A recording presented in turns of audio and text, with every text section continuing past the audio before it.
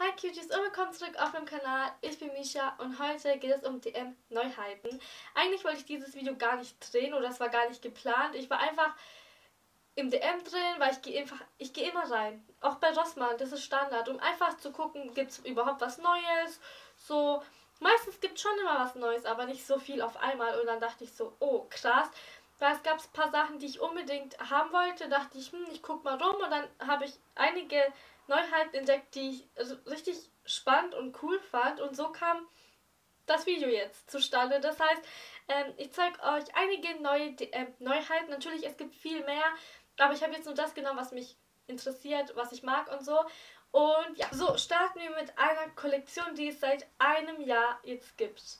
Und die ist von BH Cosmetics. Und zwar sind es die kleinen Zodiac Paletten. Die sind jetzt vollzählig mit dem Sternzeichen Schütze.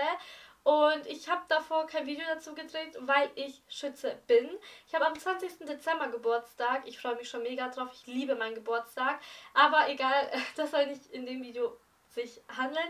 Auf jeden Fall gibt es jetzt alle Paletten bei DM zu kaufen. Ähm, ich finde es auch richtig schön und keine Ahnung, ich finde es richtig geil. Und ähm, ich habe die Schütze, Schützen, Schütze-Palette, Schützen-Paletten, whatever, gefunden, gesehen und dachte, okay, die nehme ich sofort mit, weil, ja, ich finde sowas echt cool. So sieht die einmal aus mit dem Packaging. Äh, steht auf Englisch Schütze. Äh, ich spreche es lieber nicht aus. Sie wissen alle, dass ich es falsch ausspreche. Sieht einmal die Palette aus. Ich finde die Farben sehr, sehr, sehr schön. Die sind sehr neutral, aber man kann wirklich was Schönes machen, finde ich. Ähm, ihr habt nämlich hier Thema Lila hauptsächlich. Also in der Mitte ist ein wunderschöner lila Ton. Dann habt ihr hier noch drei Schimmertöne und der Rest ist ähm, neutral, ein Base-Ton oder lila. Also was ich hier richtig geil fand beim Swatchen, ist dunkellila, das ist ein Pastelllila und ihr habt den Base-Ton. Und ihr könnt hier wirklich auch super neutral gehen. Also gefällt mir sehr, sehr gut die Palette. Was ich nicht ganz verstehe, wieso das hier blau ist, weil das Thema ist so lila, neutral bisschen. Deswegen hat mich das voll gewundert, dass es hier blau ist. Ich habe hier auch einen Spiegel dabei. Ich finde die Palette sehr gut, so zum Reisen, zum Mitnehmen. Zur Info, ich werde in kommenden Videotagen äh, eine Review zu dieser Palette drehen und falls du kein Schütze bist, keine Sorge, diese Paletten haben, glaube ich, im Großen und Ganzen die gleiche Formulierung. Das könnt ihr euch so merken, dass eine Kollektion immer die gleiche Formulierung hat. Klar, wenn jetzt eine andere Kollektion wäre, vielleicht eine an bisschen andere im Vergleich. Egal, ob du Krebs bist, Zwilling, äh, Jungfrau oder so, die Pigmentierung, äh, wie die sind, ist ungefähr ähnlich.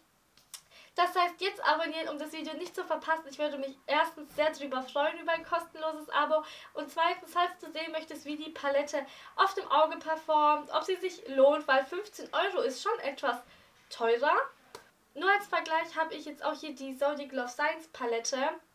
Und es ist schon ein großer Unterschied. Die Palette kostet 25 Euro und die kostet ungefähr 15 Euro. Deswegen bin ich mega gespannt, wie die performen wird. Also mit der Love Science Palette habe ich diesen Look, wie gesagt, geschminkt. Und ja, ich bin total gespannt. Also bleibt up to date, wenn ihr wissen wollt, ob sich das Geld lohnt, weil die Idee an sich finde ich echt süß mit den einzelnen Paletten für den jeweiligen Sternzeichen. You know? Jetzt kommen wir zu etwas, wo ich mich mega gefreut habe. Und zwar ist es eine Tuchmaske für die Augen, also um die Augen herum wirklich direkt. Und das finde ich erstmal richtig geil, weil äh, das meiste ist so Anti-Aging. Ich sage euch von vornherein, ihr solltet das nicht vorbeugen, weil ähm, das tut eure Haut nicht gut im Endeffekt. Die entspannt sich und dann kriegt ihr äh, erst recht Falten, wenn ihr dann aufhört und ja, ich weiß nicht, ob man mit 20, 16, 25 anfangen will, mit sowas anzufangen. Wisst ihr, was ich meine?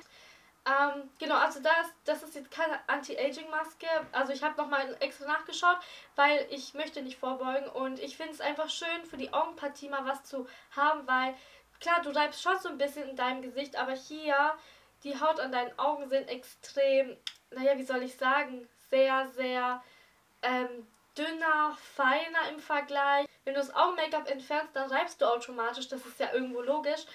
Und ich finde es schön, dass man halt jetzt auch so eine Möglichkeit hat, dass man eben diese Partie praktisch so ein bisschen entspannen kann, ein bisschen, wie soll, ich sagen, pflegen kann. Als Tipp steht hinten noch im Kühlschrank aufbewahren. Also ich mache die jetzt mal im Kühlschrank, mal gucken. Vielleicht teste ich sie in den nächsten Tagen aus. Ähm, bin sehr gespannt. Ich, find's, äh, ich, ich freue mich, dass es endlich was für die Augenpartie gibt, was jetzt nicht immer Anti-Aging ist. Also ich freue mich wirklich krass drüber. Bleiben wir erstmal bei Balea. Und zwar, das gibt es schon bisschen länger, ist aber immer noch eine Neuheit. Ist es festes Shampoo. Äh, ich finde es so geil, die Idee. Ich habe es noch nie ausprobiert und es ist halt immer noch eine Neuheit. Es ist jetzt nicht so, dass jeder auf dem Schirm hat und jeder es ausprobiert hat. Und ich interessiere mich jetzt extrem dafür. Und ich dachte, komm, ich nehme es mal mit. Ich habe es dann zufällig entdeckt. Also ich war nicht auf der Suche danach. Ähm, das ist Vanilla Sky mit Vanillenduft und ohne Silikone für jedes Haar. Ich liebe Vanille. Ich freue mich extrem, dass es Vanille gibt. Weil meistens gibt es Vanille nicht oder nicht so oft. Und das finde ich echt geil. Das reibt ihr euch auf die nassen Haare, als wäre es praktisch so ein Seifenstück. Ich glaube, jeder kann sich vorstellen, was ich meine. Ähm, ja, ich bin mega gespannt. Das werde ich auch in den nächsten Tagen mal ausprobieren. So, und jetzt kommen wir zu einer nagelneuen Limited Edition und zwar von Catrice. Und zwar geht es um das Thema, würde ich mal sagen, Silvester, alles sehr viel Glitzer, Boom und ja, ich fand das an sich sehr cool. In der LE gibt es zwei Paletten, eine Highlighter-Palette und so drei äh, Lippenstifte mit Glitzer drin. Ich habe nur eine einzige Sache dort mitgenommen, die mich wirklich interessiert hat. Und zwar eine von den zwei Paletten. Ne? Bevor wir zur Palette an sich kommen, guckt euch mal an, wie geil dieses Packaging ist. Also richtig geil mit Glitzer und ihr könnt, glaube ich, gut sehen, da kommt kein Glitzer ab. Das heißt, das ist für mich sehr qualitativ, weil die meisten machen so Billigzeug hin, dass wenn du es einmal anfasst, dass überall Glitzer bleibt. Ich glaube, wir kennen das alle von so einem 1-Euro-Shop, ganz ehrlich. Und ich finde es echt cool. Ich finde, das Design ist was Besonderes, ist schön, ist girly, aber auch so richtig glamorous woman. Wisst ihr, was ich meine? Also ich finde es richtig geil. Wenn wir die Palette öffnen, haben wir hier oben ein Spiegel mit drin. Und hier ist es matt schwarz. Also das Packaging finde ich sehr schön. Ich finde, die Farben stechen viel besser hervor. Das ist einmal, würde ich mal sagen, die Neutral Warm Tone, leicht in Orange Rot-Richtung. Finde ich sehr schön, hat mir sehr gut gefallen. Ich finde die Farben sehr schön. Also ihr habt hier 1, 2, 3, 4 Schimmertöne vier matte und hier in der Mitte ist so ein grob glitzernder Lidschatten. es gibt noch eine andere Palette, aber äh, vom Packaging komplett gleich, aber die Farben sind alle im Beering-Bereich. Und für mich war es nicht schwierig auszusuchen, weil die LE von Essence ist total beerig und hat genau dieselben Farben fast. Und zwar könnt ihr, glaube ich, jetzt sehr gut sehen, hier geht es wirklich so ins Warme und hier ist es so beerig. Und die zweite Palette von Catrice, die ist auch in diesem Beering. Die haben auch so, ich glaube sogar den identischen Rotton in der Mitte, wo ich jetzt diesen Orange-Gold habe. Also sehr ähnlich. Und da ich eben diese Palette schon habe von der Essence LE, habe ich bei der Catrice eben die Variante genommen. Aber ich muss ehrlich sagen, die andere Palette fand ich auch sehr schön. Das heißt, hätte ich die von Essence nicht, müsste ich echt überlegen, welche ich mitnehme. Aber in dem Fall habe ich jetzt die mitgenommen. Ich finde sie auch wunderschön und bin mega gespannt. Die erinnert mich, um ehrlich zu sein, etwas irgendwie an Huda Beauty, muss ich ehrlich sagen. Und ich werde eine Review zu dieser Palette drehen, selbstverständlich. Und zwar beim nächsten Video. Das heißt, äh, jetzt habt ihr zwei Gründe, um mich zu abonnieren. Denn es gibt einmal eine Review zu dieser neuen LE, zu dieser Palette, wie die ist. Ich meine, die kostet ja auch, ich glaube, fast 7 Euro. Und ähm, genau, dass ihr einfach wisst, wie die Palette ist. Genau, jetzt abonnieren, um nichts zu verpassen. Ich erzähle auch noch kurz, wieso ich nur die Palette mitgenommen habe. Ich hätte mir sehr gern noch einen Lippenstift mitgenommen. Das Problem ist aber, alle drei sind in die Richtung rosa Berry gegangen. Also wirklich perfekt zu der anderen Palette. Und nichts in dem Bereich, also nichts zu dieser neutralen orangen wärmeren Palette, sondern wirklich alles in dieses Beeriger. Es gab auch so ein dunkelrot, das ging aber auch mit dem Unterton ins Beerige. Und das fand ich ein bisschen schade, weil wäre es wirklich so ein wunderschönes, sattes Rot gewesen, natürlich mit den Schimmerpartikeln, dann hätte ich den auch mitgenommen und ausprobiert. Ähm, aber so, finde ich, hätte der gar nicht reingepasst, meiner Meinung nach. Deswegen habe ich da nichts mitgenommen. Und bei der Highlighter-Palette, die fand ich nicht so gut, muss ich euch ehrlich sagen. Äh, die hatte genau das Packaging wie die Paletten. Sah sehr schön aus, waren auch drei Diamanten drin als Highlighter, so Baked Highlighter praktisch. Aber beim Swatch waren die so schwach und 10 Euro dafür auszugeben, macht für mich keinen Sinn, weil ich habe auf den ersten Blick gemerkt, die ist für mich persönlich einfach nichts. Die ist mir zu schwach. Wie gesagt, wir haben heute Dienstag und am Donnerstag kommt dann die Review zu dieser wunderschönen Palette raus. So, und wir haben es fast geschafft. Wir kommen jetzt zum letzten Produkt. Und zwar ist das von BB ein Lip Scrub. Fand ich richtig toll, das steht sogar neu. Also das ist auch neu, ich habe es noch nie gesehen. Und ich habe es natürlich in Vanille genommen. Also im geilsten, so vom Gerücht und vom Geschmack her, mag ich wirklich Vanille, so beerig, so Himbeer in der Richtung und so Pfirsich Maracuja. Sowas finde ich richtig geil. Ich habe jetzt Vanilla mitgenommen. Es gibt noch, glaube ich, vier andere, drei oder vier andere Sorten. Äh, unter anderem war da Popcorn. Ja, und Sachen, die ich nicht mag, die haben mich wirklich null interessiert, deswegen weiß ich es gar nicht, nicht mehr wirklich. Also Popcorn weiß ich war noch dabei und noch ein paar andere. Ähm, nichts in dem, was ich mag, in dem Stil, also nichts Beeriges oder so Pfirsichmäßiges. Und so sieht das einmal aus, also da ist wirklich nur so ein Sticker drauf, BB. Finde ich ehrlich gesagt so lala. Also ich habe 3 Euro bezahlt für 3 Euro finde ich es noch okay. Ich hätte mich gefreut, wäre es ein bisschen schöner gemacht, weil das sieht aus wie so 0815 Verpackung ein bisschen. Wisst ihr, was ich meine? Oh mein Gott, Leute, ich sag's euch, wenn ihr äh, zu Starbucks geht und übelst gern Vanilla Frappuccino trinkt, das ist 1 zu 1 der Geruch. 1 zu 1. Ich sag's euch, ich schwör's drauf. Das riecht richtig geil. Das riecht richtig nach Starbucks. Also das macht jetzt das Packaging wirklich wieder gut, muss ich euch ganz ehrlich sagen.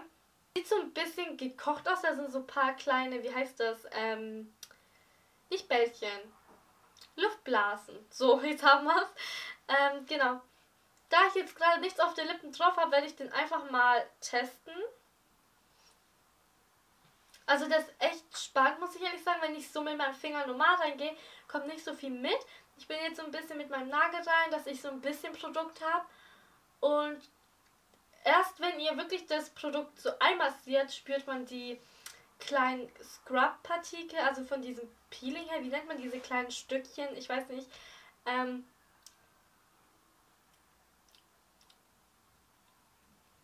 Oh mein Gott, das schmeckt auch wie ein Starbucks Frappuccino. Das steht nicht zum Verzeih geeignet, aber du schmeckst es ja automatisch meistens. Ähm, es schmeckt einfach so. Es ist halt einfach. Okay, es schmeckt ein bisschen weniger als der Geruch, muss ich ehrlich sagen. Aber ich finde es doch richtig cool. Ähm, tut gar nicht weh. Ist sehr pflegend, finde ich. Also ist wirklich so angenehm. So ein bisschen Lip Scrub, aber nicht zu viel. Und ich habe das Gefühl, das pflegt auch sehr schön.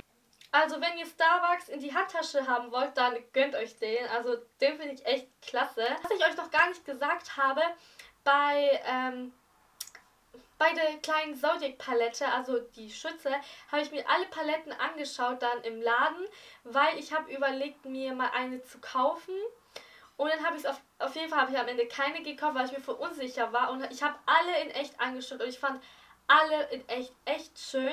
Also es gab ein paar, die haben mich richtig gecatcht. Also ich glaube Taurus war einmal, dann ich glaube Scorpio, und dann gab es auch eine mit ein paar Pastellfarben drin. Also eigentlich fand ich alle geil.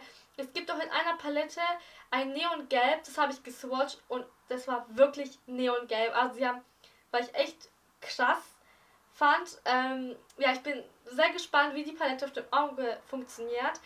Ich hoffe, das Video hat euch gefallen. Falls ja, würde ich mich über einen Daumen nach oben freuen. Schreib mir gerne in die Kommentare, was du von den Neuheiten äh, cool findest, was du dir kaufen würdest, was du eher nicht so cool findest. Würde mich mega interessieren. Und abonnieren nicht vergessen, vielmehr, ich bin dreimal die Woche für euch da. Und es gibt in den nächsten zwei Videotagen zwei neue Paletten-Reviews, die aktuell sind. Und ich würde mich sehr freuen, wenn du dann auch vorbeischauen würdest. Und ich würde sagen, wir sehen uns beim nächsten Mal wieder. Bis dann!